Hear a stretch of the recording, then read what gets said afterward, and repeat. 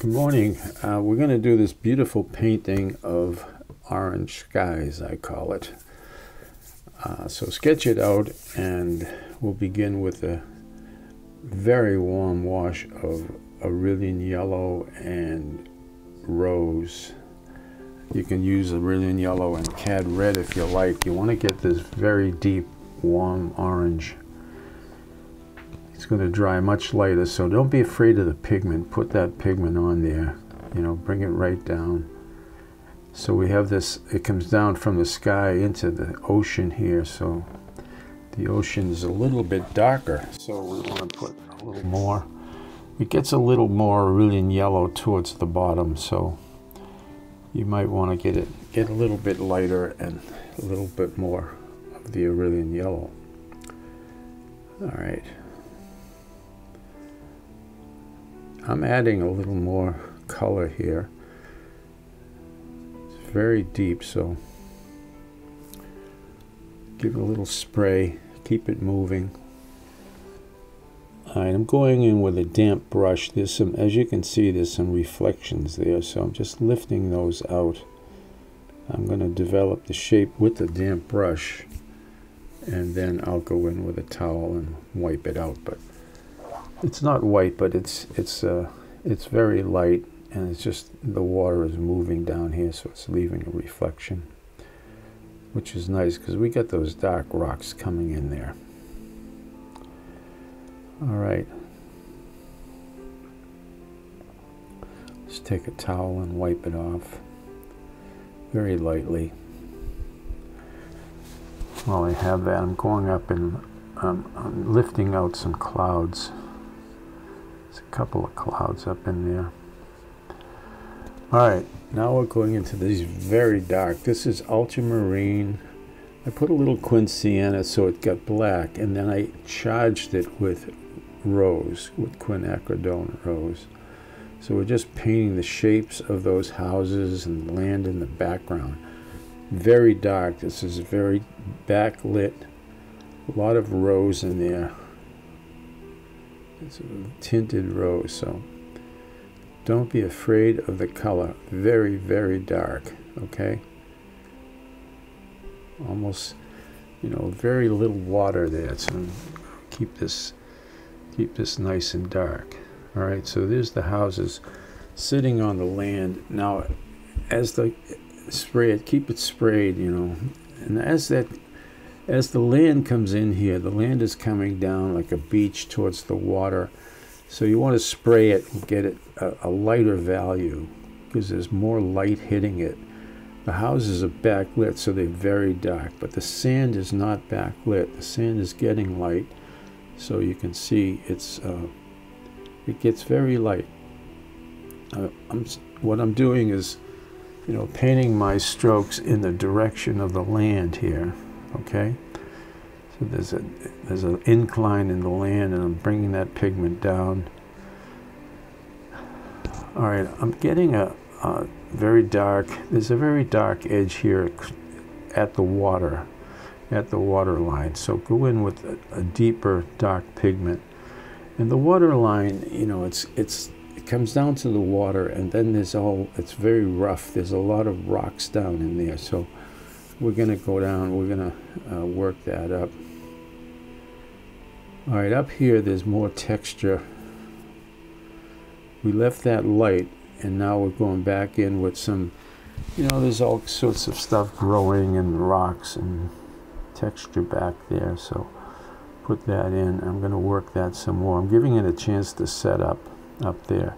Meanwhile, I'm down here at the edge of the, of the rocks and I'm just, you know, bringing some of that dark into the water where there's the stones and rocks are creating a rough edge there. You can see that, that stuff going down. Okay, that edge is really important. It's a rough edge. And it's darker than the rest because it's, it's also, it's wet or it has been wet recently, so it's, it's much darker. All right. So get that coming down. Meanwhile, I'm letting that upper land uh, set up. It's drying, but it's not. All right, I'm putting some um, some of the reflections in. There's a lot of reflections here in the water, uh, and I'm, I'm using an orange. I'm just using a deep orange here. And this is all just horizontal strokes, leaving some light, you know, painting around some of the lights. And it gets lighter as it comes down towards the middle of the water here. It gets, there's more Aureolin yellow because it's reflecting that sky that's up there. Okay. So I'm adding more water with Aureolin yellow in it. And I'm bringing it down to my shapes there with the where I left those lights. Keep a nice spray on it. Keep the whole thing alive so you can work on it. Once it's dry, you're dead in the water. It's just very hard to work with it. But if you keep it moist and dry, you can keep working it. All right, just lifting out those lights on the water there. All right, now I'm going back. That that land up there is, is fairly dry. It's not totally dry, but what I'm doing is just taking some cobalt blue mixed in with that deep violet and creating some texture on that land. And this is just growth, you know, it's it's vegetation and it's rocks and it's pieces of junk on the beach and you know whatever. It's just all you know making a nice um, texture up there. Just working that edge of the water, these rocks coming down, going back up to the, the texture up there. You know, just pieces of grass and, you know, sections of grass coming down. Spray. Keep the spray bottle handy on this painting because there's a lot of, you want to keep that stuff alive. All right, let's get those dark rocks in there. Now, this is the same color, just ultramarine, quin sienna, and I'm charging it up with the rose again. I sped this up because there's so many rocks. It, it's uh, it's going to take you a while to put them in, but be patient. You know, have patience, and and get it done. You know, just just go in one rock at a time. Create, you know, put the rocks together so they create nice shapes you know, have one or two rocks out there by themselves, but most of this is just these deep, dark, and it's nice because they're just silhouettes. You don't have to worry about all the facets on rocks usually. This is just, it's all, you know, sort of backlit, and it's just, you're looking at basically silhouettes of rocks. All right, so I just sped that up for you so we can buzz through it. Okay. All right, now we, we're in this section where it's almost all rocks. And I added a lot of cobalt blue here first, so I'm, I'm developing that shape. I'm just basically making a violet shape with, with uh, cobalt blue and uh, some rose. And now once I painted that, I'm going back in with the darks. And these darks are, again, this is the ultramarine with rose on top of that uh, other violet I wanted to leave that, you know, the cobalt blue violet is a lighter violet, and it's going to give us a different feel for those rocks down in there. This whole section, you know, have patience with this and work your way through it. You know, take your time. I'm going back and putting a few, uh, they're basically orange rocks up there. You know, they're different. They're they're up in the water and the light, and so not a lot of them, just a few. Just touching some of these uh, darker rocks with the with the orange as well. They're very warm, so not a lot of them, but just just a few here and there.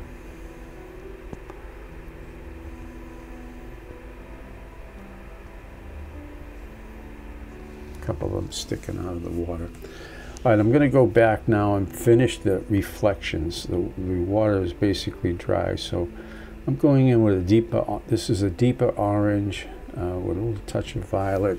The, these are really reflections of the land down into the water, so that's what we're doing here. So it has a little violet in it. Okay, just a lot of horizontal strokes, you know, just going back and forth and creating that sense of reflection, the, the motion of the water, picking up the reflections of that land, that deep violet on the land. Okay, so that just comes down.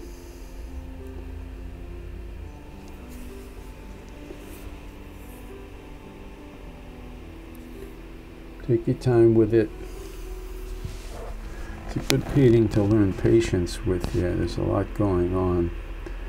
Right, as you can see, it's just, you know, we're just reflecting the land and what we're doing is we're joining our values, you know, we're giving a transition of values from the light, light water to the dark, dark land with this sort of medium value. Right, leaving lights here and there. So these reflections get lighter as they come out towards the middle of the water because they're they're now picking up you know the dark reflections are, re are, reflections of the land but now we're talking these are reflections of the sky. So they're much lighter they're very warm orange. These these are reflections of the land again. I go back and forth you know as it uh, as you work your brush you know some of it's darker than others and keep the edges all soft edges painting it to that moist, but you want to leave some light, so.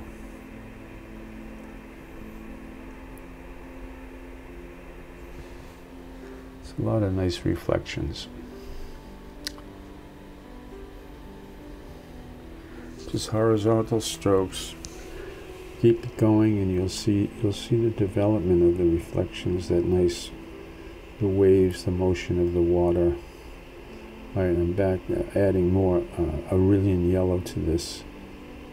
So it's very rich and warm. Very wet now towards the middle. All right, uh, I'm putting a little uh, halo of Quin Rose on the buildings and on the trees. You can see it adds a nice sort of touch of warmth on that. This is just pure Quin Rose. You can do the orange if you like all along here. Alright, I'm just to put some finishing touches on here. We have a few trees. They're very light. They're growing against the sky, so, you know, they're very warm. I'm using a little violet here, and then I'll go into the orange. Alright, just very pointed brush. Get those really narrow branches in there all along that. All right.